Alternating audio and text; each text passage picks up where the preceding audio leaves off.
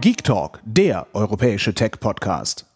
Einen wunderschönen guten Morgen und herzlich willkommen an diesem Dienstag, dem 30. Juni 2020.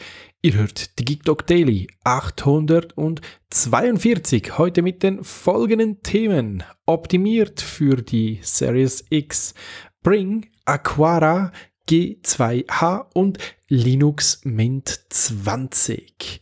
Ich beginne gleich mit dem ersten. Es geht um die Spiele für die kommende Xbox Series X. Das ist eine neue Plattform aus dem Hause Microsoft.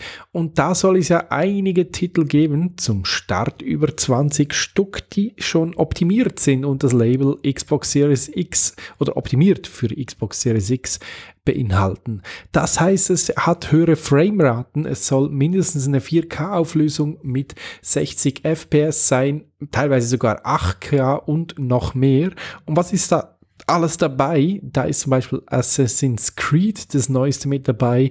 Da ist Cyberpunk 2077, logischerweise FIFA 21 und so weiter und so fort mit drin. Wer das genauer interessiert, in unseren Show Notes im Podcatcher eures Vertrauens oder auf daily.tiktok.ch findet ihr den Link zum entsprechenden Beitrag.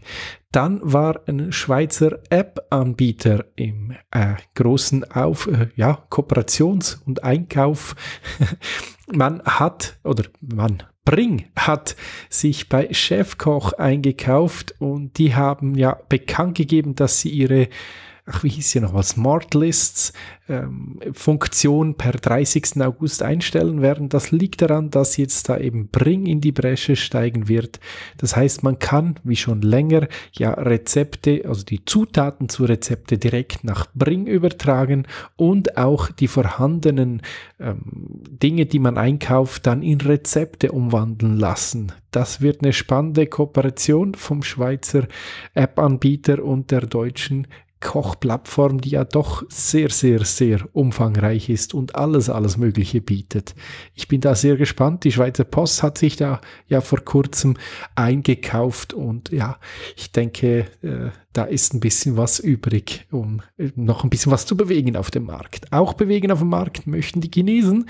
Im Bereich Smart Home gibt es ja vor allem in der letzten Zeit Neuigkeiten von eben asiatischen Firmen, vor allem von chinesischen Firmen eine, die gehören zu Xiaomi, ist Aquara oder Aqua, doch Aquara. Die haben eine, ähm, schon länger eine Home, äh, HomeKit-fähige Webcam vorgestellt, die man zu Hause aufstellen kann, die nicht nur HomeKit, sondern auch HomeKit Secure Video kann und knapp um die 60 Währungseinheiten kostet. Wie immer bei diesen Smart Home Lösungen von Aquara ist es immer so ein bisschen abwägend, funktioniert das wirklich auch mit den europäischen Server, mit der europäischen App und so weiter? Muss ich mich da in China einhacken oder nicht? Bei der Kamera soll es so sein, dass zumindest bald schon eine Möglichkeit gegeben werden soll, dass es auch in der Schweiz funktioniert und Deutschland, Österreich logischerweise. Ähm, ich bin da sehr gespannt, weil wenn man die vergleicht mit anderen HomeKit, HomeKit Secure Video ähm, fähigen Kameras, ist sie dann doch ein Schnäppchen, wenn man dem so sagen möchte. Auch ein Schnäppchen, weil gratis und sicherlich immer wieder eine Empfehlung ist Linux Mint. Das ist so das, was am meisten ausschaut wie Windows, würde ich mal behaupten, und zumindest einigermaßen bedient, also was heißt gut bedienbar ist. Wer also einen Rechner hat, der nicht mehr so rund läuft oder wo man kein Windows installieren möchte oder kann oder will oder wie auch immer, dann kann man da Linux Mint draufwerfen. Mittlerweile mein Gott, wann gab es die erste Mint-Version? Ich glaube irgendwie 2005, 6, so in dem Dreh rum. Jetzt eben schon in der Version 20.